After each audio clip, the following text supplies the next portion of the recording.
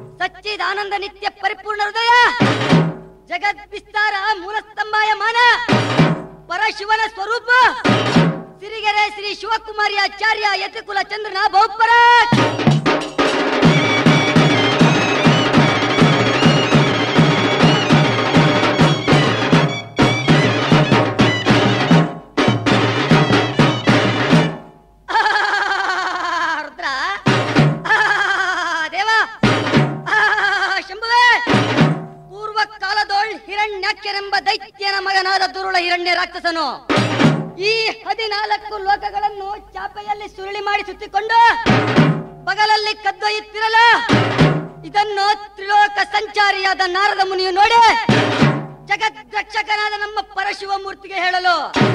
ಆಗ ನಮ್ಮ ಪರಶಿವ ಮೂರ್ತಿಯು ಕೂಡಲೇ ತನ್ನ ಪುತ್ರನಾದ ಶ್ರೀ ವೀರಭದ್ರನ ಕರೆಯಲು ಗಂಡು ಗಲಿ ಶ್ರೀ ವೀರಭದ್ರನು ಹೇಗೆ ಬರುತ್ತಿದ್ದಾನೆಂದರೆ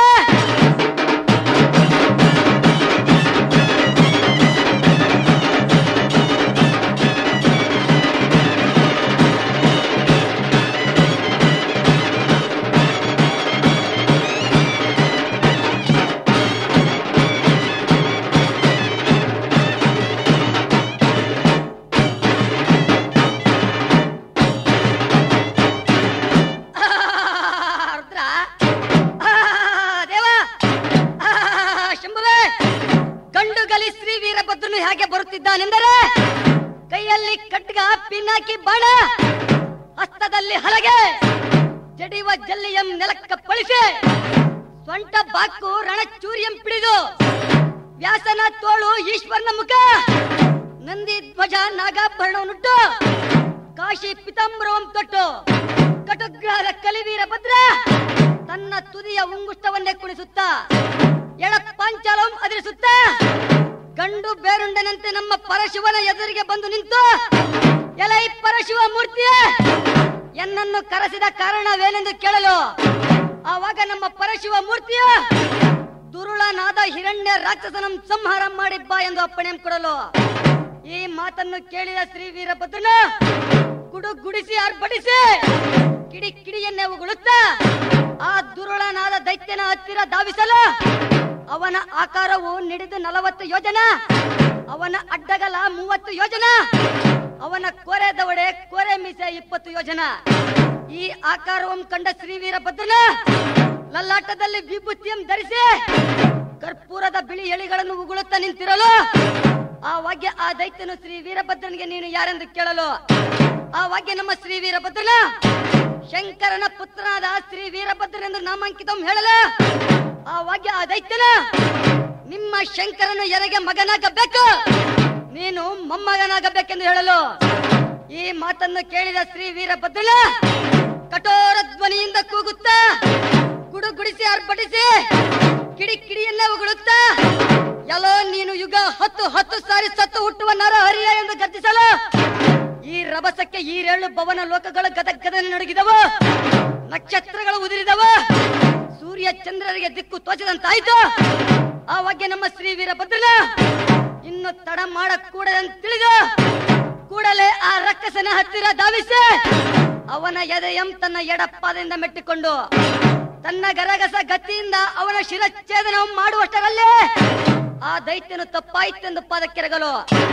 ಆ ವಾಕ್ಯ ನಮ್ಮ ಶ್ರೀ ವೀರಭದ್ರ ಎಲ್ಲ ದೈತ್ಯನೇ ಅಡ್ಡ ಬಿದ್ದ ಕಾರಣವೇನೆಂದು ಕೇಳಲು ಆ ವಾಕ್ಯ ಆ ದೈತ್ಯನು, ಏ ಸ್ವಾಮಿ, ಎನ್ನ ಕರದಲ್ಲಿ ನಿಮ್ಮ ಕಾಯವ ಧರಿಸಬೇಕೆಂದು ಹೇಳಲು ಈ ಮಾತನ್ನು ಕೇಳಿದ ಶ್ರೀ ವೀರಭದ್ರನ, ಅವನ ಮಾತಿಗೆ ಲಕ್ಷೀಕರಿಸದೆ ಕೂಡಲೇ ತನ್ನ ಗರಗಸ ಗತಿಯಿಂದ ಅವನ ಶಿರಚ್ಛೇದನವನ್ನು ಮಾಡಿ, ಅವನ ನರಗಳೆಲ್ಲವನ್ನು ತೆಗೆದುಕೊಂಡು ಮಾಲೆಯನ್ನಾಗಿ ಮಾಡಿಕೊಂಡು, ತನ್ನ ಕೊರಳಲ್ಲೇ ಹಾಕಿಕೊಂಡು ರಜತಾದ್ರಿ ಪರ್ವತವನ್ನು ಸಂತೋಷ ಭರಿತನಾಗಿ ಆಡರುತ್ತಲಿರಲು, ಇದನ್ನು ನೋಡುತ್ತಿದ್ದ ಜಗದ್ರಕ್ಷಕನಾದ ಪರಶಿವ ಮೂರ್ತಿಯು ಸಂತೋಷ ಭರಿತನಾಗಿ ಕೂಡಲೇ ತನ್ನ ಪುತ್ರನಾದ ಶ್ರೀ ವೀರಭದ್ರನ ಎತ್ತಿಕೊಂಡು ಮುದ್ದಾಡೆ ರತ್ನ ಕೆತ್ತಿಸಿದ ಸಿಂಹಾಸನದ ಮೇಲೆ ಕುಳ್ಳಿರಿಸಿದನು.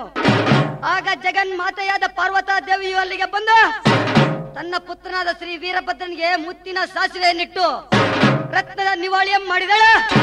ಉಳಿದ ಪ್ರಥಮ ಗಣಗಳು ಶ್ರೀ ವೀರಭದ್ರನಿಗೆ ವೀರಗಾಸೆಯಂ ತೊಡಿಸಿ ನಾಟ್ಯವನ್ನಾಡೆಂದು ಪೇಳಲ ನಾಟ್ಯವನ್ನಾಡುತ್ತಾ ಬರುತ್ತಿದ್ದಾನೆ. ಕಟುಗ್ರಹದ ಕಲಿ ವೀರಭದ್ರ, ಅಭಿನಮಗೆ ರುದ್ರ. ಕರುಣಾ ಸಮುದ್ರ! ನಿನ್ನ ಪವಾಡವು ಅಂದಿಗುಂಟು ಇಂದಿಗಿಲ್ಲ ಎನ್ನುವ ಶತದ್ರೋಹಿಗಳಿಗೆ ನೀನೇ ಗಂಡ ಬಲ!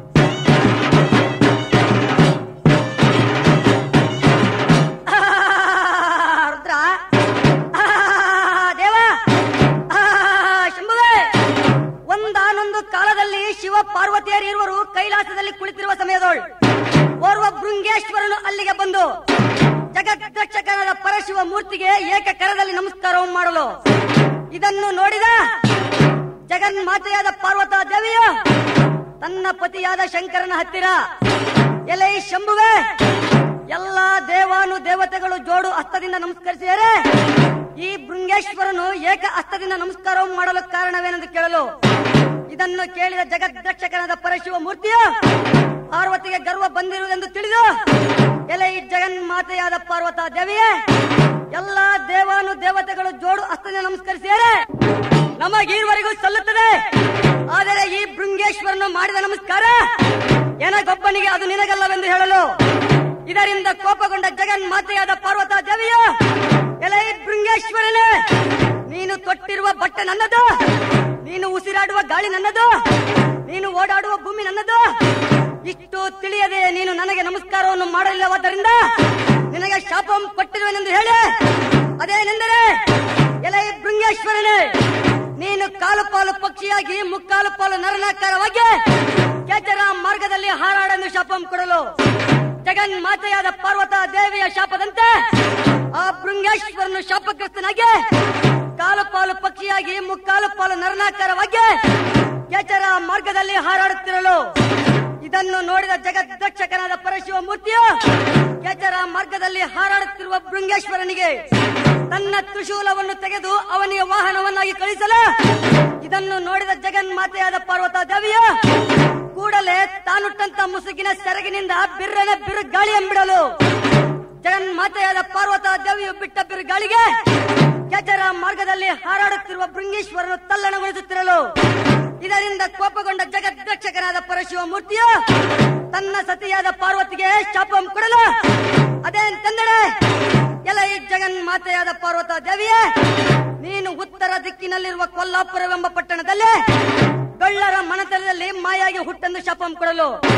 ಪರಶಿವನ ಶಾಪದಂತೆ ಜಗನ್ಮಾತೆಯಾದ ಪಾರ್ವತ ದೇವಿ ಶಾಪಗ್ರಸ್ತಳಾಗಿ ಉತ್ತರ ದಿಕ್ಕಿನಲ್ಲಿರುವ ಕೊಲ್ಲಾಪುರವೆಂಬ ಪಟ್ಟಣದಲ್ಲಿ ಡೊಳ್ಳರ ಮನತನದಲ್ಲಿ ಮಾಯಾಗಿ ಹುಟ್ಟಿದಳು. ಆಗ ನಮ್ಮ ಜಗದ್ರಕ್ಷಕನಾದ ಪರಶಿವ ಮೂರ್ತಿಯ ಕೇಚರ ಮಾರ್ಗದಲ್ಲಿ ಹಾರಾಡುತ್ತಿರುವ ಬೃಂಗೇಶ್ವರನನ್ನು ತನ್ನಲ್ಲಿಗೆ ಬರಮಾಡಿಕೊಂಡು ಎಲೈ ಬೃಂಗೇಶ್ವರನೇ, ನೀನು ಉಜ್ಜಯಿನಿಗೆ ಹೋಗಿ ಮರುಳ ಸಿದ್ಧನಾಗಿ ಹುಟ್ಟೆ. ಗಾವಿ ಬಟ್ಟೆಯನ್ನು ಧರಿಸಿಕೊಂಡ, ಭಸ್ಮ ರುದ್ರಾಕ್ಷಿಗಳನ್ನು ಧರಿಸಿಕೊಂಡ, ಎಡಗೈಯಲ್ಲಿ ಜೋಳಿಗೆ ಬಲಗೈಯಲ್ಲಿ ಬೆತ್ತವನ್ನು ಪಿಡಿದುಕೊಂಡು, ಚಂಗಮ್ಮ ವೇಷಧಾರಿಯಾಗಿ ನನ್ನ ಹತ್ತಿರ ಬಾ ಎಂದು ಹೇಳಲು, ಪರಶಿವನ ಅಪ್ಪಣೆಯಂತೆ ಆ ಬೃಂಗೇಶ್ವರನು ಉಜ್ಜಯಿನಿಗೆ ಹೋಗಿ ಮರುಳ ಸಿದ್ಧನಾಗಿ ಹುಟ್ಟಿ. ಕಾವಿ ಬಟ್ಟೆಯನ್ನು ಧರಿಸಿಕೊಂಡು ಭಸ್ಮ ರುದ್ರಾಕ್ಷಿಯನ್ನು ಧರಿಸಿಕೊಂಡು ಎಡಗೈಯಲ್ಲಿ ಜೋಳಿಗೆ ಬಲಗೈಯಲ್ಲಿ ಬೆತ್ತವನ್ನು ಪಿಡಿದುಕೊಂಡು, ಜಂಗಮ ವೇಷಧಾರಿಯಾಗಿ ಜಗದ್ರಕ್ಷಕನಾದ ಪರಶಿವನ ಹತ್ತಿರ ಬಂದ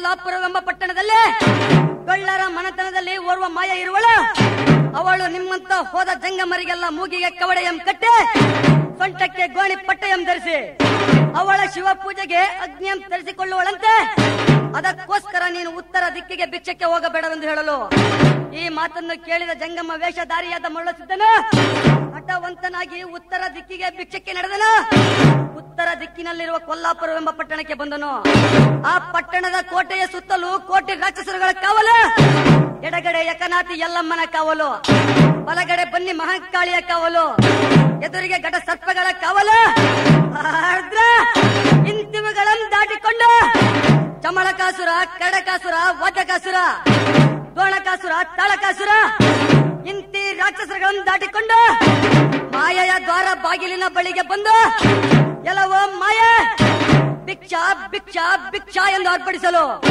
ಮಾಯೆಯು ತನ್ನ ದ್ವಾರ ಬಾಗಿಲನ್ನು ತೆರೆಯಲಿಲ್ಲ. ಇದರಿಂದ ಕೋಪಗೊಂಡ ಜಂಗಮ ವೇಷಧಾರಿಯಾದ ಮರುಳ ಸಿದ್ದನ ಎಲ್ಲವೋ ಮಾಯೆ. ನಿನ್ನ ಗಂಡನಿಗೆ ಭಿಕ್ಷಾ, ನಿನ್ನ ಮಿಂಡನಿಗೆ ಭಿಕ್ಷಾ, ನಿನ್ನ ಕೋಲ ಹಲನಿಗೆ ಭಿಕ್ಷಾ ಎಂದು ಅರ್ಪಡಿಸಲು. ಆಗ ಪಟ್ಟೆ ಮಂಚದ ಮೇಲೆ ಮಲಗಿದ್ದ ಮಾಯಯ್ಯ ತಟ್ಟನೆ ಎದ್ದು ಬಂದ. ತನ್ನ ದ್ವಾರ ಬಾಗಿಲಂ ತೆರೆದು ನೋಡುವಲ್ಲೇ ಜಂಗಮ್ಮ ವೇಷಧಾರಿಯು ನಿಂತಿರಲು. ಆಗ ಆ ಮಾಯೆಯು ಪೇಳುತ್ತಾಳೆ. ಎಲ್ಲವೋ ಮಾಯೆ. ಏನೆಂದು ಬೊಗಳಿದೆ ಇನ್ನೊಂದು ಸಾರಿ ಬೊಗಳು ಎಂದು. ಆಗ ನಮ್ಮ ಜಂಗಮ ವೇಷಧಾರಿಯಾದ ಮರಳ ಸಿದ್ದನ ಎಲ್ಲವೋ ಮಾಯೆ. ನಿನ್ನ ಗಂಡನಿಗೆ ಭಿಕ್ಷ, ನಿನ್ನ ಮಿಂಡನಿಗೆ ಭಿಕ್ಷ, ನಿನ್ನ ಕೋಲ ಹಲನಿಗೆ ಭಿಕ್ಷ ಎಂದು ಅರ್ಪಡಿಸಲು ಆಗ ಆ ಮಾಯೆಯು ಒಳಗಡೆ ಹೋಗಿ ಕೋಟಕ ವಿಷವನ್ನು ತೆಗೆದು ಕಂಚಿನ ತಟ್ಟೆಯಲ್ಲಿ ಹಾಕಲು ಕರ್ರಗಾಗೆ ಹೋಯಿತು. ಅದೇ ಕಾರ್ಕೋಟಕ ವಿಷವನ್ನು ತೆಗೆದು ಬೆಳ್ಳಿಯ ತಟ್ಟೆಯಲ್ಲಿ ಹಾಕಲು ಬೆಳ್ಳಗಾಗೆ ಹೋಯಿತು. ಪುನಃ ಅದೇ ಕರ್ಕೋಟಕ ವಿಷವನ್ನು ತೆಗೆದು ಕಲ್ಲಿನ ತಟ್ಟೆಯಲ್ಲಿ ಹಾಕಿ ತಂದು ಜಂಗಮ ವೇಷಧಾರಿಯಾದ ಮರಳಸಿದ್ದನ ಬಕ್ಕಸಗೆ ಸುರಿಯಲು ಆ ವಿಷವನ್ನು ಅವನು ಸುರ್ರನ ಸುರಪ್ಪನ ಮಾಡಲು. ಆಗ ನಮ್ಮ ಜಂಗಮ ವೇಷಧಾರಿಯಾದ ಮರಳಸಿದ್ದನ ಎಲ್ಲವೋ ಮಾಯೆ ನನಗೆ ಹಸಿವಾಗಿದೆ. ಹೊಟ್ಟೆ ತುಂಬಲಿಲ್ಲ, ತೃಪ್ತಿಯಾಗಲಿಲ್ಲ. ಇನ್ನಷ್ಟು ತಾ ಮತ್ತಷ್ಟು ತಾ ಎಂದು ಅರ್ಪಡಿಸಲು. ಆಗ ಮಾಯೆಯು ತನ್ನ ದ್ವಾರ ಬಾಗಿಲಂ ಭದ್ರಪಡಿಸಿಕೊಂಡು ಹೊಟ್ಟೆ ಮಂಚದ ಹೋಗಿ ಮಲಗಲ ಇದರಿಂದ ಕೋಪಗೊಂಡ ಜಂಗಮ ವೇಷಧಾರಿಯಾದ ಮರುಳ ಸಿದ್ದನ ಎಲ್ಲವೋ ಮಾಯ ಎಂದು ಅರ್ಪಡಿಸುತ್ತ. ಆ ದ್ವಾರ ಬಾಗಿಲಂ ತನ್ನ ಎಡಪಾದಿಂದ ಒದ್ದ ಹೊಟ್ಟೆ ಮಂಚದ ಮೇಲೆ ಮಲಗಿದ್ದ ಮಾಯೆಯ ಮುಂಗೂದಲಂ ಹಿಡಿದಳೆದ, ಅಲ್ಲೆಯೇ ಇದ್ದಂತ ಒಂದು ಆಯುಧಂ ತೆಗೆದುಕೊಂಡು ಆ ಮಾಯೆಯ ಶಿರಚ್ಛೇದನ ಮಾಡಿ ಅವಳ ಬುರುಡೆಯನ್ನೇ ಒಡೆದು ನಾಲ್ಕು ದೀಪಗಳನ್ನಾಗಿ ಮಾಡಿ ಅವಳ ನರಗಳನ್ನು ಕಿತ್ತು. ಆ ನಾಲ್ಕು ದೀಪಗಳಿಗೂ ಬತ್ತಿಯನ್ನಾಗಿ ಮಾಡಿ. ಅವಳ ರಕ್ತವನ್ನೇ ತೆಗೆದು ಆ ನಾಲ್ಕು ದೀಪಗಳಿಗೂ ಎಣ್ಣೆಯನ್ನಾಗಿ ಮಾಡಿ. ಅವಳ ಕೈ ಕಾಲುಗಳನ್ನು ಕತ್ತರಿಸಿ. ಆ ನಾಲ್ಕು ದೀಪಗಳಿಗೂ ದೀಪ ಸ್ತಂಭಗಳನ್ನಾಗಿ ಮಾಡಿ. ನಾಲ್ಕು ದಿಕ್ಕಿಗೂ ನಾಲ್ಕು ದೀಪಗಳನ್ನು ಹೊಚ್ಚಿ.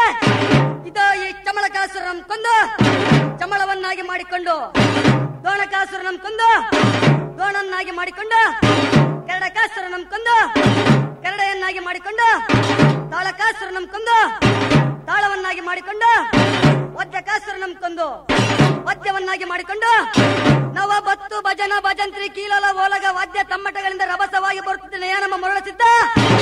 ಕೆರೆ ಕಾಳಿಂಗರುದ್ರ, ಚಲದಂಕ ಮಲ್ಲ, ವಿಪರೀತ ನಾಯಕ ಬಂಡೇರ ಗಂಡ ಹರಿಹರಿ ಆ ನವ ಬ್ರಹ್ಮರೋಳ್ ಮೇಲಾದ ದಕ್ಷ ಬ್ರಹ್ಮ ಹರಿದು ಹರಿದ ತಲೆಗೆ ಕುಯಿ ನಿಟ್ಟ ದೊರೆಯೇ, ನಿನಗಾರು ಸರಿಯೇ ಸರಿ ಸರಿ ಎಂದವರ ಹಲ್ಲು ಮರಿಯೇ ಫಲ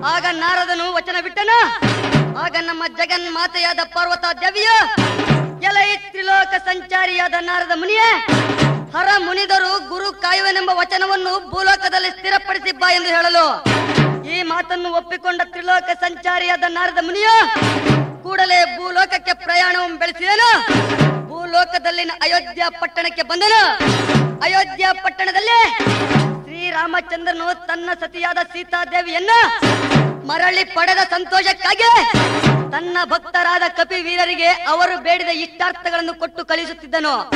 ಶ್ರೀರಾಮಚಂದ್ರನ ಪರಮ ಭಕ್ತನಾದ ಮುದ್ದು ಮಾರುತಿಯು, ತಾನು ಏನಾದರೊಂದು ಇಷ್ಟಾರ್ಥವನ್ನು ಪಡೆದುಕೊಂಡು ಬರಬೇಕೆಂದು ತನ್ನ ಗುರುವಾದ ಶ್ರೀರಾಮಚಂದ್ರನಲ್ಲಿಗೆ ಅವಸರಗೊಂಡು ಹೋಗುತ್ತಿರುವಾಗೆ ದಾರಿ ಮಧ್ಯದಲ್ಲಿ ಈ ತ್ರಿಲೋಕ ಸಂಚಾರಿಯಾದ ನಾರದ ಮುನಿಯು ಭೇಟಿಯಾಗಿ ಎಲೆ ಮುದ್ದು ಮಾರುತಿಯೇ, ಇಷ್ಟೊಂದು ಅವಸರಗೊಂಡು ಹೋಗುತ್ತಿರಲು ಕಾರಣವೇನೆಂದು ಕೇಳಲು ಆವಾಗ ನಮ್ಮ ಮುದ್ದು ಮಾರುತಿಯ ನನ್ನ ಗುರುವಾದ ಶ್ರೀರಾಮಚಂದ್ರನಲ್ಲಿಗೆ ನಾನು ಹೋಗಿ ನನ್ನ ಇಷ್ಟಾರ್ಥವನ್ನು ಪಡೆದುಕೊಂಡು ಬರುತ್ತೇನೆಂದು ಹೇಳಲು.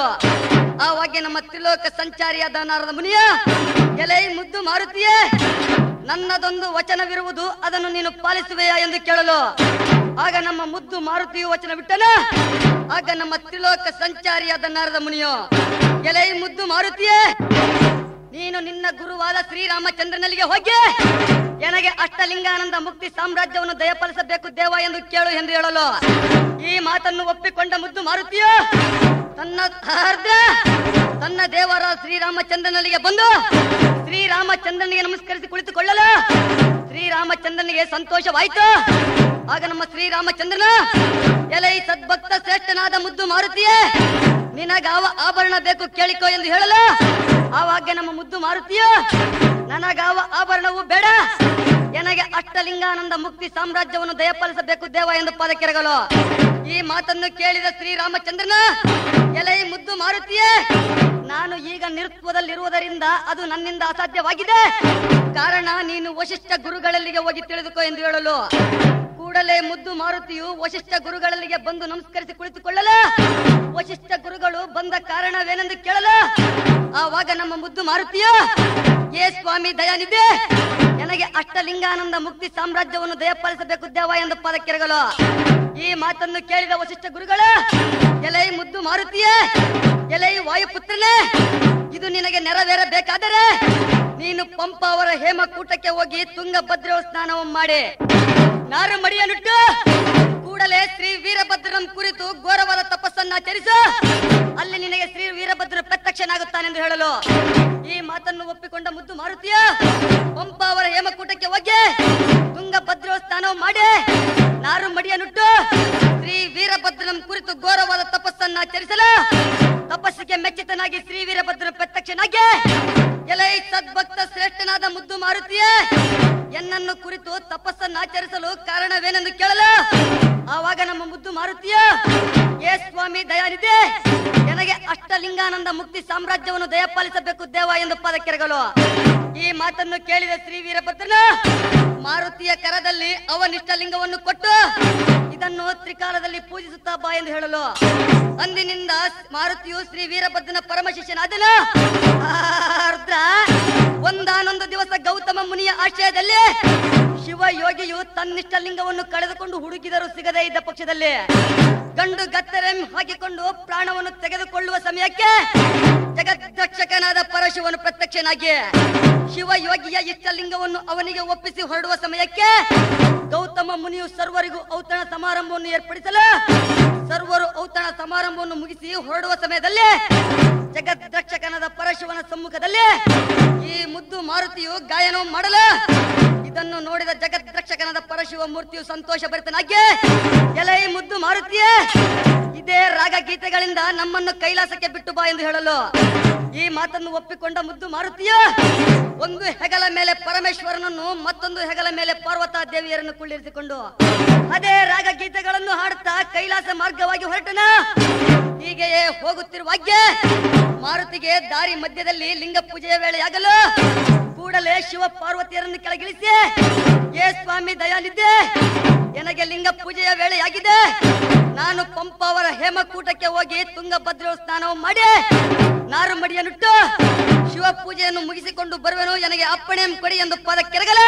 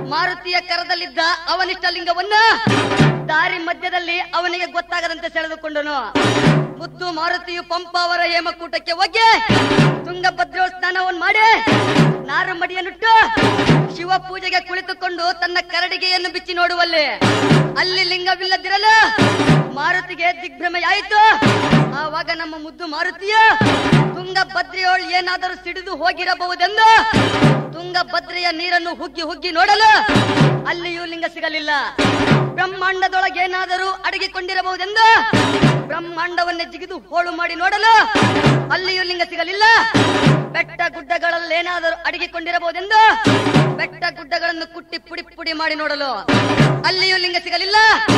ಆವಾಗ ನಮ್ಮ ಮುದ್ದು ಮಾರುತಿಯ? ಇನ್ನು ವಿಧಿ ಇಲ್ಲವೆಂದು ತಿಳಿದು ಕೂಡಲೇ ಶ್ರೀ ವೀರಭದ್ರನ ಕುರಿತು ಘೋರವಾದ ತಪಸ್ಸನ್ನು ಆಚರಿಸಲು ಇವನ ತಪಸ್ಸಿಗೆ ಮೆಚ್ಚಿತನಾಗಿ ಶ್ರೀ ವೀರಭದ್ರ ಪ್ರತ್ಯಕ್ಷನಾಗಿ ಎಲೈ ಸದ್ಭಕ್ತ ಶ್ರೇಷ್ಠನಾದ ಮುದ್ದು ಮಾರುತಿಯ, ನನ್ನನ್ನು ಕುರಿತು ತಪಸ್ಸನ್ನು ಆಚರಿಸಲು ಕಾರಣವೇನೆಂದು ಕೇಳಲು ಆವಾಗ ನಮ್ಮ ಮುದ್ದು ಮಾರುತಿಯ, ಸದ್ಗುರು ಶ್ರೇಷ್ಠನಾದ ಶ್ರೀ ವೀರಭದ್ರನೇ ನೀನು ದೊರಕಿಸಿಕೊಟ್ಟಂತ ಎನ್ನಿಷ್ಟ ಲಿಂಗವು ಮಾಯವಾಗಿರುವುದು? ಅದನ್ನು ಪುನಃ ನನಗೆ ದೊರಕಿಸಿಕೊಟ್ಟು ನನ್ನನ್ನು ಉದ್ಧಾರ ಮಾಡಬೇಕು ದೇವ ಎಂದು ಪಾದಕ್ಕೆರಗಲು ಈ ಮಾತನ್ನು ಕೇಳಿದ ಶ್ರೀ ವೀರಭದ್ರನ, ಎಲೈ ಮುದ್ದು ಮಾರುತಿಯೇ, ನೀನಿನ್ನು ಹೆದರಬೇಡ. ಇನ್ನು ಮುಕ್ಕಾಲು ಮೂರು ಗಳಿಗೆಯೊಳಗಾಗಿ ನಿನ್ನಿಷ್ಟ ಲಿಂಗವನ್ನು ನಿನಗೆ ತಂದು ಒಪ್ಪಿಸುತ್ತೇನೆಂದು ಶಪಥವನ್ನು ಮಾಡಿ. ನನ್ನ ಅಗ್ನಿ ನೇತ್ರವನ್ನು ತೆಗೆದ. ಮಾರುತಿಯ ಇಷ್ಟ ಲಿಂಗವನ್ನು ಹುಡುಕಿ ತರಲು ತಿಳಿಸಲು. ಆ ಅಗ್ನಿ ನೇತ್ರವು ಬ್ರಹ್ಮಾಂಡವನ್ನು ದಯಿಸ ಹಚ್ಚಿದೆ ಈ ವಿಷಯವು ಜಗನ್ಮಾತೆಯಾದ ಪಾರ್ವತಾ ದೇವಿಗೆ ತಿಳಿಯಲು ಕೂಡಲೇ ಜಗನ್ಮಾತೆಯಾದ ಪಾರ್ವತಾ ದೇವಿಯು ತನ್ನ ಪತಿಯಾದ ಶಂಕರನ ಬಳಿಗೆ ಬಂದು, ಎಲೈ ಶಂಭುವೆ, ಮಾರುತಿಯ ಇಷ್ಟ ಲಿಂಗವನ್ನು ಹುಡುಕಿ ತರಲು ಶ್ರೀ ವೀರಭದ್ರನು ಅವನ ಅಗ್ನಿ ನೇತ್ರವನ್ನು ಕಳಿಸಿಕೊಟ್ಟಿರುವನು. ಆ ಅಗ್ನಿ ನೇತ್ರವು ಬ್ರಹ್ಮಾಂಡವನ್ನು ದಯಿಸ ಎಂದು ಹೇಳಲು ಈ ಮಾತನ್ನು ಕೇಳಿದ ಜಗದ್ರಕ್ಷಕನಾದ ಪರಶಿವ ಮೂರ್ತಿಯು ಕೋಪರುಡನಾಗಿ ಕೂಡಲೇ ತನ್ನ ಅಗ್ನಿ ನೇತ್ರವನ್ನು ತೆಗೆದು ಶ್ರೀ ವೀರಭದ್ರನ ಅಗ್ನಿ ನೇತ್ರದೊಡನೆ ಘೋರವಾದ ಕಾಳಗವನ್ನು ಮಾಡುವಾಗಿ ತಿಳಿಸಲು.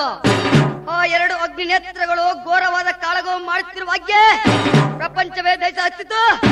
ಆಗ ಜಗನ್ಮಾತೆಯಾದ ಪಾರ್ವತ ದೇವಿಯು ತನ್ನ ಪತಿಯಾದ ಶಂಕರನ ಬಳಿಗೆ ಬಂದು, ಎಲೈ ಶಂಭುವೆ, ಪ್ರಪಂಚವೇ ಸುಟ್ಟು ಹೋದರೆ ನಾವಿರುವುದಲ್ಲಿ ಶ್ರೀ ವೀರಭದ್ರನ ಭಕ್ತನಾದ ಮುದ್ದು ಮಾರುತಿಯ ಇಷ್ಟಲಿಂಗವನ್ನು ಒಪ್ಪಿಸಿ ಬಾ ಎಂದು ಹೇಳಲು. ಈ ಮಾತನ್ನು ಕೇಳಿದ ಜಗದ್ರಕ್ಷಕನಾದ ಪರಶಿವ ಮೂರ್ತಿಯ ಮಾರುತಿ ಇದ್ದಲ್ಲಿಗೆ ಬಂದು ಅವನಿಗೆ ಗೊತ್ತಾಗದಂತೆ ಅವನಿಷ್ಟಲಿಂಗವನ್ನು ಅವನಿಗೆ ಒಪ್ಪಿಸಿ ಅರ್ಧ ಎಲೈ ಮುದ್ದು ಮಾರುತಿಯೇ, ನಿನ್ನಿಷ್ಟಲಿಂಗವನ್ನು ತೋರಿಸೆಂದು ಕೇಳಲು. ಆವಾಗ ನಮ್ಮ ಮುದ್ದು ಮಾರುತಿಯು, ಎನ್ನ ಗುರುವಿನ ಅಪ್ಪಣೆಯಾದರೆ ಮಾತ್ರ ನಾನು ನನ್ನ ಇಷ್ಟಲಿಂಗವನ್ನು ತೋರಿಸುತ್ತೇನೆಂದು ಹೇಳಲು. ತಕ್ಷಣ ಶ್ರೀ ವೀರಭದ್ರ ಪ್ರತ್ಯಕ್ಷನಾಗಿ, ಎಲೈ ಮುದ್ದು ಮಾರುತಿಯೇ ಪರಮಾತ್ಮನಿಗೆ ರೋಮಕ್ಕೊಂದು ಕೋಟಿ ಲಿಂಗಗಳನ್ನು ಮಾಡಿ ತೋರಿಸೆಂದು ಹೇಳಲು ಕೂಡಲೇ ಮುದ್ದು ಮಾರುತಿಯು ಪರಮಾತ್ಮನಿಗೆ ರೋಮಕ್ಕೊಂದು ಕೋಟಿ ಲಿಂಗಗಳನ್ನು ಮಾಡಿ ತೋರಿಸಿದನು ಅಂದಿನಿಂದ ಭೂಲೋಕದಲ್ಲಿ ಹರ ಮುನಿದರು ಗುರು ಕಾಯುವನೆಂಬ ವಚನವು ಸ್ಥಿರವಾಯಿತಪ್ಪ ದೇವ. ಭದ್ರಕಾಳಿಯ ರಮಣ, ಜಲದಂಕ ಮಲ್ಲ, ವಿಪರೀತ ನಾಯಕ, ಬಂಡೇರ ಗಂಡ ಹರಿಹರಿ ಆ ನವಬ್ರಹ್ಮರೋಳ್ ಮೇಲಾದ ದಕ್ಷ ಬ್ರಹ್ಮ ಶಿರವಂ ಹರಿದು.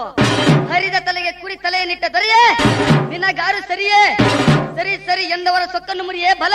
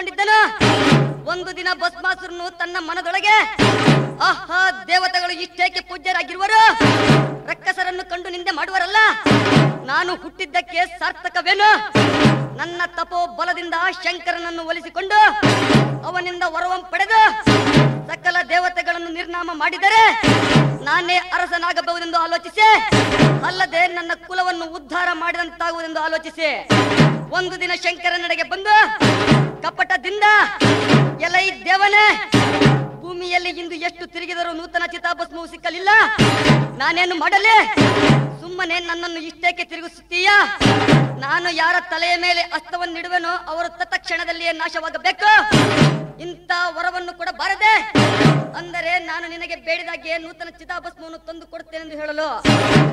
ಆರ್ದ್ರ, ಪರಶಿವನು ಈ ದುರುಳನ ಕಪಟವನ್ನರಿಯದೆ ಅವನಿಗೆ ಈ ವರವನ್ನು ಕೊಡಲು ಸಿದ್ಧನಾಗಿರುವಾಗ ಜಗನ್ಮಾತೆಯಾದ ಪಾರ್ವತಾ ದೇವಿಯು ಬಂದು ಈ ರಕ್ಕಸನಿಗೆ ಈ ವರವನ್ನು ಕೊಡಬಾರದು. ಒಂದು ವೇಳೆ ಕೊಟ್ಟರೆ ಇವನಿಂದ ಮಹದರತ್ವವಾಗುವುದೆಂದು ಪರಿಪರಿಯಿಂದ ಹೇಳಿದಳು. ಇವರಂತೆ ಗಜಾನನ, ಶಡನನ, ನಂದಿ ಭೃಂಗಾದಿಗಳು ಸಹ ನುಡಿದರು. ಜಗದ್ದಕ್ಷಕನಾದ ಬೋಲನಾಥನು ಇವರಾರ ಮಾತನ್ನು ಲಕ್ಷೀಕರಿಸದೆ. ಭಸ್ಮಾಸುರನು ನನ್ನ ಮಗನಂತಿರುವನು. ಅಲ್ಲದೆ ಮಹಾಭಕ್ತನು, ಇವನಿಂದ ಅಂತಹ ಕೆಟ್ಟ ಕಾರ್ಯವೆಂದು ಸಂಭವಿಸದೆಂದು ಹೇಳಿ ರಕ್ಕಸನಿಗೆ ಅವನ ಇಚ್ಛೆಯಂತೆ ವರವನ್ನು ಕೊಟ್ಟನು. ಭಸ್ಮಾಸುರನು ಸಂತುಷ್ಟನಾಗಿ ತನ್ನ ಬಯಕೆಯು ಕೈಗೂಡಿತೆಂದು ತಿಳಿದು ಭೂಮಿಯಲ್ಲಿ ಬಂದು ಧಾರ್ಮಿಕರಾದ ರಾಜರುಗಳನ್ನು, ಮುನಿಗಳನ್ನು ಸಂಹರಿಸತೊಡಗಿದನು. ಸಕಲ ಭೂಮಿಯಲ್ಲಿಯೂ ಆಹಾಕಾರ ನಡೆಯಿತು. ಈ ವರ್ತಮಾನವು ಶಂಕರನಿಗೆ ಸ್ವಲ್ಪವಾದರೂ ತಿಳಿದಿರಲಿಲ್ಲ. ಋಷಿಗಳು, ದೇವತೆಗಳು ಇವನ ಪೀಡೆಯನ್ನು ತಡೆಯಲಾರದೆ ಬ್ರಹ್ಮನ ಹತ್ತಿರ ಹೋಗಿ ಶರಣಾಗತರಾಗಲು ಬ್ರಹ್ಮನು ಇವರೆಲ್ಲರನ್ನು ಕರೆದುಕೊಂಡು ವೈಕುಂಠಪತಿಯ ಬಳಿಗೆ ಬಂದನು. ನಾರಾಯಣನು ಎಲ್ಲರೊಂದಿಗೆ ಕೈಲಾಸಕ್ಕೆ ಬಂದು ಈ ದೈತ್ಯನ ಕೃತ್ಯವನ್ನು ಹೇಳಿ ಮುಂದೇನು ಗತಿ ಎಂದು ಹೇಳುವಷ್ಟರಲ್ಲಿಯೇ ಭಸ್ಮಾಸುರನು ಅಲ್ಲಿಗೆ ಬಂದು, ಎಲೈ ಮೂರ್ಖರೇ, ಇಲ್ಲಿಗೆ ಯಾಕೆ ಬಂದಿರುವಿರಿ? ನಿಮ್ಮನ್ನು ಈಗಲೇ ಸಂಹರಿಸುವೆನೆಂದು ಗದ್ದರಿಸಿ ಜಗದ್ರಕ್ಷಕನಾದ ಪರಶಿವನ ಪಕ್ಕದಲ್ಲಿ ಕುಳಿತಿದ್ದ ಜಗನ್ಮಾತೆಯಾದ ಪಾರ್ವತಾ ದೇವಿಯನ್ನು ನೋಡಿ ಆಹಾ ಇಂಥ ಸುಂದರ ಸ್ತ್ರೀಯು ನನಗೆಲ್ಲಿ ದೊರಕುವಳು? ಆದ್ದರಿಂದ ಶಂಕರನನ್ನು ಸಂಹರಿಸಿ ಇವಳನ್ನು ತೆಗೆದುಕೊಂಡು ಹೋಗಬೇಕೆಂದು ಆಲೋಚಿಸಿ. ಶಂಕರನ ತಲೆಯ ಮೇಲೆ ಅಸ್ತವನ್ನಿಡಲಿಕ್ಕೆ ಯತ್ನವನ್ನು ಮಾಡಿದನು. ಅದನ್ನು ಕಂಡು ಸಕಲ ದೇವತೆಗಳೆಲ್ಲರೂ ಪರಮಾತ್ಮನಿಗೆ ಪಲಾಯನ ಸೂಕ್ತವನ್ನು ಹೇಳಿದರು. ಶಂಕರನು ಅರಣ್ಯದಲ್ಲಿ ಓಡಲಾರಂಭಿಸಿದನು ಇವನನ್ನು ಬೆನ್ನಟ್ಟಿ ಭಸ್ಮಾಸುರನು ನಡೆದನು. ಅನ್ನ, ನೀರು ಬಿಟ್ಟು ವಾಯುವನ್ನೇ ಆಹಾರ ಮಾಡಿಕೊಂಡು ಹತ್ತು ಸಹಸ್ರ ವರ್ಷ ಪರ್ಯಂತರವಾಗಿ ತಪಸ್ಸು ಮಾಡಿದರು. ಮನಸ್ಸಿನಿಂದ ಕೂಡ ಸಿಗದೆ ಇದ್ದ ಪರಮಾತ್ಮನು ಈ ದುರುಳನ ಕೈಗೆ ಸಿಕ್ಕುವನೇ. ಈ ದುರುಳನಾದ ದಾನವನು ಆಹಾ, ಶಂಕರನು ಸಿಕ್ಕನೆಂದು. ಅಯ್ಯೋ, ದೂರ ಓಡಿ ಹೋದನೆಂದು ಬಗಳುತ್ತಾ, ಬಹಳ ದೂರ ಬೆನ್ನಟ್ಟಿ ಹೋದನು. ಎಷ್ಟು ಶ್ರಮ ಪಟ್ಟರು ನಿರರ್ಥಕವಾಗಿ ದೈತ್ಯನು ಕಂಗೆಟ್ಟು ಸುಮ್ಮನೆ ಕುಳಿತನು. ಆಗ ಜಗತ್ ರಕ್ಷಕನಾದ ಪರಶಿವ ಮೂರ್ತಿಯು ಅಲ್ಲೆಯೇ ಒಂದು ವಟ ವೃಕ್ಷವಾಗಿ ನಿಂತುಕೊಂಡನು. ಇತ್ತ ಕಡೆ ಜಗನ್ಮಾತೆಯಾದ ಪಾರ್ವತಾ ದೇವಿಯ ವೈಕುಂಠಪತಿಯ ಬಳಿಗೆ ಬಂದು ಶರಣಾಗತಳಾಗಲು. ನಾರಾಯಣು ಒಂದು ಸುಂದರ ಮೋಹಿನಿ ವೇಷವನ್ನು ಧರಿಸಿ ದೈತ್ಯ ನಡೆಗೆ ಬಂದು, ಆಗ ಆ ದೈತ್ಯನು ಈ ಸುಂದರ ಸ್ತ್ರೀ ವೇಷವನ್ನು ನೋಡಲು. ಈ ಸ್ತ್ರೀ ರೂಪಕ್ಕೆ ಮೋಹಿಸಿ, ಇವಳ ಸೌಂದರ್ಯವು ಲಕ್ಷ್ಮಿ ಸರಸ್ವತಿಯರು ಸಹ ಇಲ್ಲವೆಂದು ಧ್ಯಾನಿಸಿ, ಇವಳ ಹತ್ತಿರ ಬಂದು, ಮಾನಿ ನೀಮಣಿ, ನಿನ್ನ ರೂಪಕ್ಕೆ ನಾನು ಮರುಳಾಗಿ ಭ್ರಾಂತನಾಗಿರುವೆನು, ದಯಮಾಡಿ ನನ್ನನ್ನು ಹೊಂದಬಾರದೆ. ಪಂಚಶರಣ ಬಾಧೆಯು ಬಹಳ ಆಗಿರುವುದು. ಆ ಸಂಕಟವನ್ನು ಕಳೆದರೆ ನಿನ್ನ ದಾಸನಾಗುವೆನು. ನೀನು ಹೇಳಿದಂತೆ ಕೇಳುವೆನು. ಎಂದು ಅನೇಕ ವಿಧದಿಂದ ಬೆಸಗೊಳ್ಳಲಾಗಿ ಮೋಹಿನಿಯು ರಕ್ಕಸನೆ ಏನೂ ಚಿಂತೆ ಇಲ್ಲ. ನಿನ್ನಿಷ್ಟದಂತೆ ವರ್ತಿಸುವೆನು. ಆದರೆ ನನ್ನದೊಂದು ರಥವಿದೆ. ಅದೇನೆಂದರೆ ನನ್ನ ಕುಲದೇವಿಯಾದ ಈ ವಟವೃಕ್ಷಕ್ಕೆ ನನ್ನ ಲಗ್ನವಾಗುವ ಮುಂದೆ ನಾನು ಹೇಗೆ ಕುಣಿಯುವೆನೋ ಅದರಂತೆ ನನ್ನ ಗಂಡನ ವಶದಿಂದ ಕುಣಿಸುವೆನೋ ಎಂದು ಬೇಡಿಕೊಂಡಿರುವೆನು. ಕಾರಣ ನಾನು ನರ್ತನ ಮಾಡಿದಂತೆ ನೀನು ಮಾಡಬೇಕು. ಅದರಲ್ಲಿ ಏನಾದರೂ ವ್ಯತ್ಯಾಸವಾದರೆ ನನ್ನ ಕುಲ ದೇವತೆಯು ಕೋಪಿಷ್ಟಳಾಗಿ ನಿನ್ನನ್ನು ಕೊಂದೇ ಬಿಡುವಳು ಎಂದು ಕೇಳಲಾಗಿ ರಕ್ಕಸನ ಇವಳ ಮಧುರ ವಾಕ್ಯಕ್ಕೆ ಮರುಳಾಗಿ ಹಾಗೆಯೇ ಆಗಲಿ ಎಂದು ಒಡಂಬಟ್ಟನು. ಸಕಲ ದೇವತೆಗಳು ಈ ಚಮತ್ಕಾರವನ್ನು ನೋಡಲಿಕ್ಕೆ ವಿಮಾನಾರೂಢರಾಗಿ ಆಕಾಶ ಮಾರ್ಗದಲ್ಲಿ ಬಂದರು. ಮೋಹಿನಿಯು ದೈತ್ಯನೊಂದಿಗೆ ವಟವೃಕ್ಷದ ಕೆಳಬದಿಯಲ್ಲಿ ನರ್ತನವನ್ನು ಮಾಡಲಿಕ್ಕೆ ಆರಂಭಿಸಿದಳು. ಇವಳಂತೆ ರಕ್ಕಸನಾದರೂ ಕುಣಿ ಹತ್ತಿದನು. ಕೆಲವು ಕಾಲದ ಮೇಲೆ ದೈತ್ಯನ ಚಿತ್ತವು ಮೋಹಿನಿಯಲ್ಲಿ ಲೀನವಾಯಿತು. ಮೋಹಿನಿಯು ಮನೋಹರ ರಾಗವನ್ನು ಆಡುತ್ತಾ ಹಾವಭಾವಗಳನ್ನು ಮಾಡುತ್ತಾ, ತನ್ನ ಹಸ್ತವನ್ನು ತನ್ನ ತಲೆಯ ಮೇಲೆ ಇಟ್ಟುಕೊಂಡಳು. ಅದರಂತೆ ಆ ದೈತ್ಯನಾದರೂ ತನ್ನ ಹಸ್ತವನ್ನು ತನ್ನ ತಲೆಯ ಮೇಲೆ ಇಟ್ಟುಕೊಂಡ. ಕೂಡಲೇ ಭಸ್ಮವಾಗಿ ಬಿದ್ದನು. ದೇವತೆಗಳು ಪುಷ್ಪವೃಷ್ಟಿ ಮಾಡಿದರು. ಈಶ್ವರನು ನಿಜ ರೂಪವನ್ನು ತಾಳಿದನು. ವಿಷ್ಣುವು ಪೂರ್ವದ ರೂಪವನ್ನು ಹೊಂದಿದನು. ಆ ಕಾಲದಲ್ಲಿ ಶಂಕರನು ಮೋಹಿನಿಯನ್ನು ಕಂಡು ವೀರ್ಯವನ್ನು ಬಿಟ್ಟಿದ್ದನು. ಅದು ಎಂಟು ಭಾಗವಾಯಿತು. ಅದರಿಂದ ಅಷ್ಟ ಭೈರವರು ಹುಟ್ಟಿದರು. ಅನಂತರ ಹರಿಹರರು ಪರಸ್ಪರವಾಗಿ ಆಲಿಂಗಿಸಿ ಸಂತೋಷದಿಂದ ಕೈಲಾಸಕ್ಕೆ ಬಂದರು. ಅಂಬಿಕೆಯು ಈರ್ವರನ್ನು ಪೂಜಿಸಿದಳು.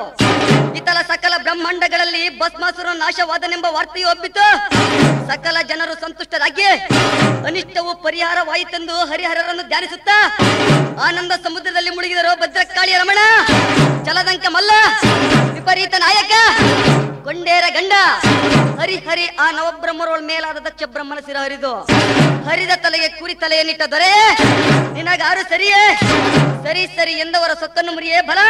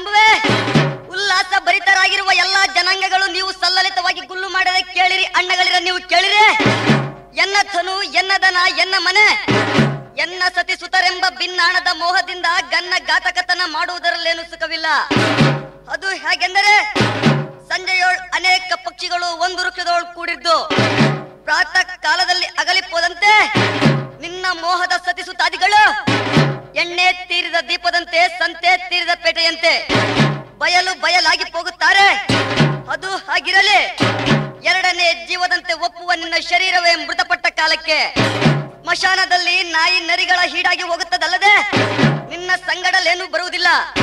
ನೀನು ಮಾಡಿದ ಪಾಪ ಪುಣ್ಯಗಳು ನಿನ್ನ ಸಂಗಡ ಬರುತ್ತಾವಲ್ಲದೆ, ನಿನ್ನ ಮೋಹದ ಸತಿ ಸುತಾದಿಗಳ ಸಂಗಡ ಹೋಗುವುದಿಲ್ಲ. ಅದು ಹಾಗಿರಲಿ. ಹೆಂಡತಿಯರಲ್ಲಿ ಸುಖವೆಂಬಿರಿ. ಹೆಂಡತಿಯರಲ್ಲಿ ಸುಖವಿಲ್ಲ. ಹೆಂಡತಿಗೆ ಕಂಡ ಕಂಡದ್ದನ್ನು ತಂದುಕೊಟ್ಟು ದಿಂಡೆತನದಿಂದ ಉಡಮಡಿಸಿದರೆ ಅತಿ ಹಿತದಿಂದ ತನ್ನ ಗಂಡನೆಂದು ಕರೆಯುತ್ತಾಳೆ. ಇಲ್ಲದೆ ಹೋದರೆ ಬಂಡ ಬಾಹಿರನೇ ಹೋಗೆನ್ನುತ್ತಾಳೆ ಆ, ರುದ್ರ ಮತ್ತು ಮಕ್ಕಳಲ್ಲಿ ಸುಖವೆಂಬಿರಿ ಮಕ್ಕಳಲ್ಲಿ ಸುಖವಿಲ್ಲ.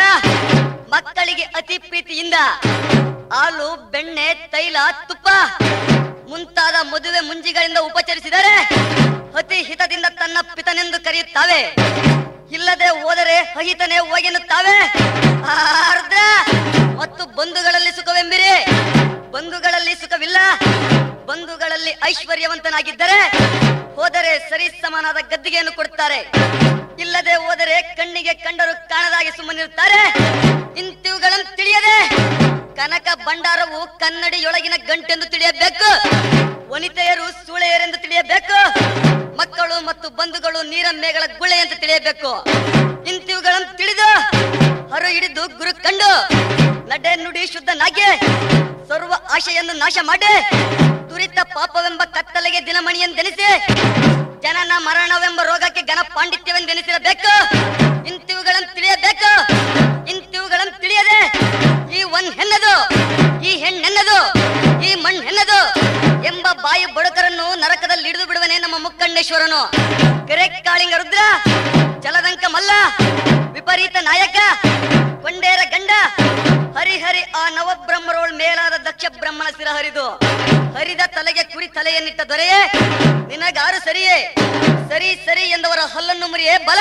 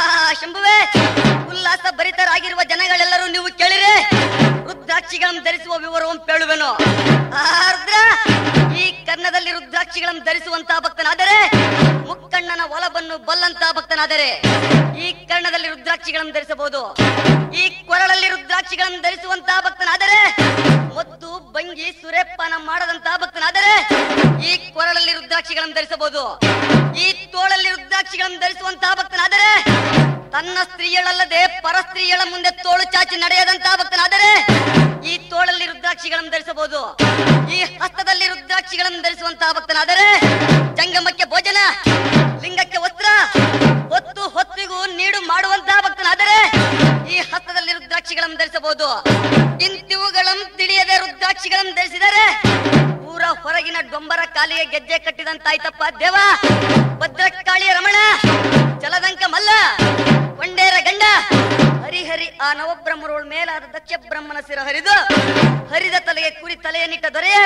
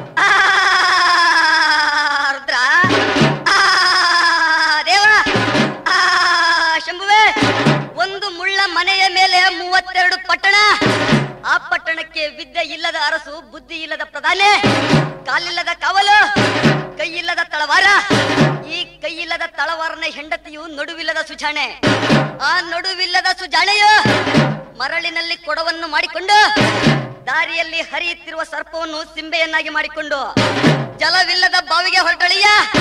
ಆ ಜಲವಿಲ್ಲದ ಬಾವಿಯ ಬುಡದಲ್ಲಿ ಬೇರಿಲ್ಲದ ಬೇವಿನ ಮರವೊಂದಿತ್ತು ಆ ಬೇರಿಲ್ಲದ ಬೇವಿನ ಮರದ ಮೇಲೆ ರೆಕ್ಕೆಗಳಿಲ್ಲದ ಪಕ್ಷಿಯು ಕುಳಿತಿರಲು ಆ ಪಕ್ಷಿಯನ್ನು ಕಣ್ಣುಗಳಿಲ್ಲದ ಕುರುಡನು ನೋಡಿ, ಕೈಗಳಿಲ್ಲದ ಬೇಟೆಗಾರನಿಗೆ ಹೇಳಲು. ಆಗ ಕೈಗಳಿಲ್ಲದ ಬೇಟೆಗಾರನು ಮೂತಿ ಇಲ್ಲದ ಬಾಣದಿಂದ ಹೊಡೆಯಲು. ಆ ಬಾಣವು ಅದರ ಪಿಂಡಂಡಕ್ಕೆ ತಗಲಿ ಅದು ಕೆಳಗೆ ಬಿದ್ದಿತ್ತಪ್ಪ ದೇವ ಭದ್ರಕಾಳಿಯ ರಮಣ ಚಲದಂಕ ಮಲ್ಲ ವಿಪರೀತ ನಾಯಕ ಕೊಂಡೇರ ಗಂಡ ಹರಿಹರಿ ಆ ನವಬ್ರಹ್ಮರೋಳ ಮೇಲಾದ ದಕ್ಷ ಬ್ರಹ್ಮನ ಸಿರ ಹರಿದು ಹರಿದ ತಲೆಗೆ ಕುರಿ ತಲೆಯನ್ನಿಟ್ಟ ದೊರೆಯೇ ನಿನಗಾರು ಸರಿಯೇ ಸರಿ ಸರಿ ಎಂದವರ ಸೊಕ್ಕನ್ನು ಮುರಿಯೇ ಬಲ